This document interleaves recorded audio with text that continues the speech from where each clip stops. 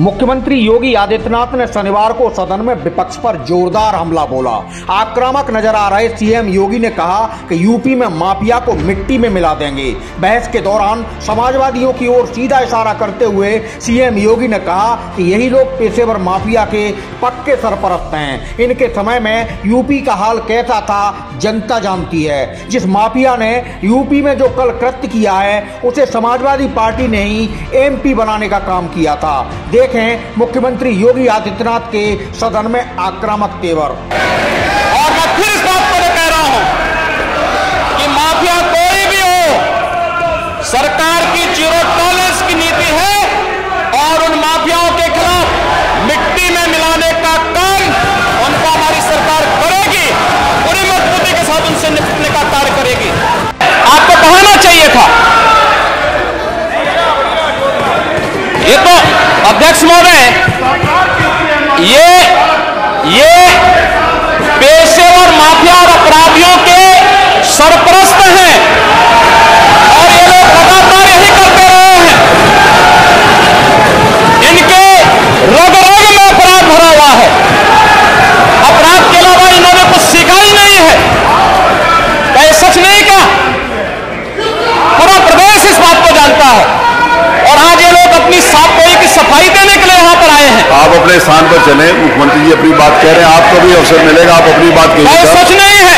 वो आप जो भी बात आपने कहने आप कहिएगा अभी मुख्यमंत्री जी बोले आपने जो बात कहनी आपकी बात कहिएगा। आपको अपनी बात कहने का माफिया अधिकार है। ने कल यह कृत्य किया है वह माफिया उत्तर प्रदेश के बाहर है और वह माफिया समाजवादी पार्टी के सहयोग से ही बार बार एमएलए और एमपी बना है क्या ये सच नहीं कि उन्नीस में इलाहाबाद वेस्ट से वह मा, वह माफिया समाजवादी पार्टी की सरकार के सहयोग से इन पार्टी के सहयोग से एमएलए बना था और यही नहीं 2004 में भी वह माफिया 2004 में भी वह माफिया इन्हीं लोगों के सहयोग से एमपी बना था और फिर 2009 में उस माफिया को सांसद बनाने का भी कुख्यात कार्य इन्होंने ही किया था ये लोग चोरी और सीना चोरी करने का काम कर रहे हैं ये लोग न्याय की बात करते हैं महोदय अध्यक्ष महोदय मैं अध्यक्ष महोदय मेरा निवेदन है आपसे कि इसकी सूची ज़रूर on the floor of house आ हाँ, जाए। हाँ, हाँ। सभी मान्य सदस्य की जानकारी में आ जाए। फ्लोर में फ्लोर फ्लोर फ्लोर ऑफ़ के सदन के फ्लोर पे ही हम इसको टेबल करेंगे। ले, हो गया टेबल अध्यक्ष महोदय वो टेबल हो गया ना महोदय, टेबल नहीं चाहिए मुझे। हाँ। मैं सूची चाहता हूँ on the floor of house आ जाए। वो तो पूरे सदन की जानकारी में आ जाए।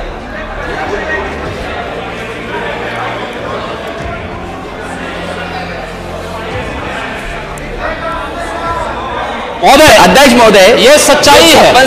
सेलेक्ट और उनकी सूची मुख्य समय के बोला तो उनका समय के युवाओं के साथ क्या भेदभाव होता था? कौन सा ऐसा आयोग था? दिनों सेवा चयन आयोग उत्तर प्रदेश लोक सेवा आयोग माध्यमिक शिक्षा चयन आयोग उच्चतर शिक्षा चयन आयोग पुलिस की भर्ती और कौन कौन सी भर्ती होती थी? उस समय क्या होता था? किसी से छुपावा नहीं है। हाँ उसी में लेखपाल दिन सेवा चयन आयोग में ये सब होता सब होता था जी उस समय हो जाता था।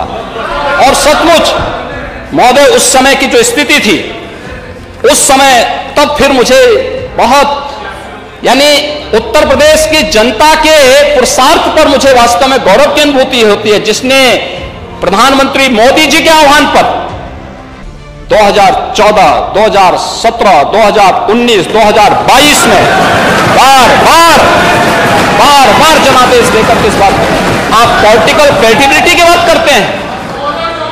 पॉलिटिकल क्रेडिबिलिटी क्या होता है? के लिए कह रहे हो दूसरे के लिए गुस्से कह रहे हो अपना तो चेहरा नहीं कर रहा थोड़ा। मैं तो बहुत इसके साथ बता रहा हूँ आपको। आप जो कर रहे थे उसका एहसास करा रहा हूँ मैं। मैं उसका एहसास करा रहा हूँ कि बार बार देखिए संसदीय लोकतंत्र में संसदीय लोकतंत्र में संसदीय लोकतंत्र में पॉलिटिकल क्रेडिबिलिटी का सबसे बड़ा माध्यम है जनता का जनादेश। और दूसरा, पॉलिटिकल क्रेडिबिलिटी का सबसे बड़ा माध्यम है, सबसे बड़ा माध्यम है, दूसरा, देश और दुनिया का विश्वास। ये जो लगभग 35 लाख करोड़ रुपए के निवेश के प्रस्ताव उत्तर प्रदेश को प्राप्त हुए हैं, ये 33 35 लाख करोड़ रुपए के निवेश के प्रस्ताव ये पॉलिटिकल क्रेडिबिलिटी का सबसे अच्छा उदाहरण हो सकता है। मुझे आश्चर्य इस बात को हुआ।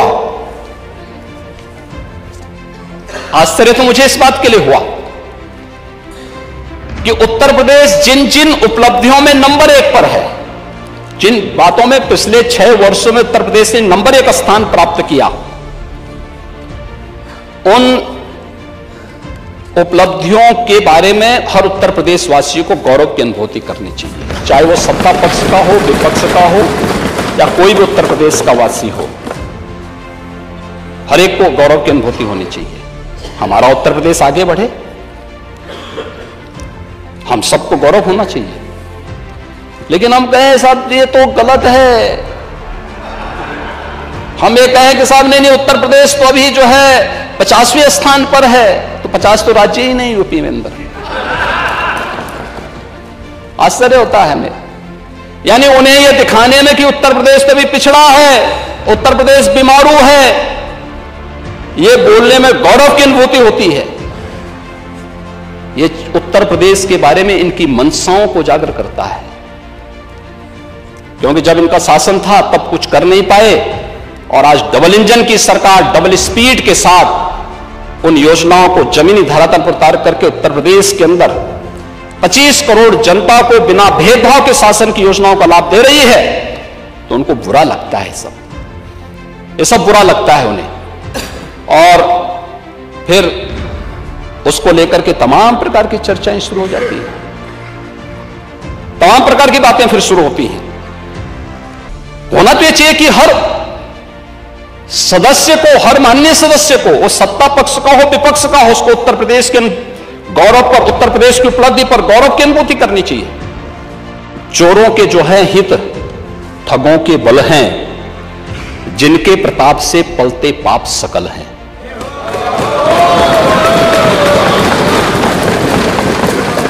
जो छल प्रपंच सबको प्रश्रय देते हैं, या चाटुकार जन की सेवा लेते हैं। यह पाप उन्हीं का है।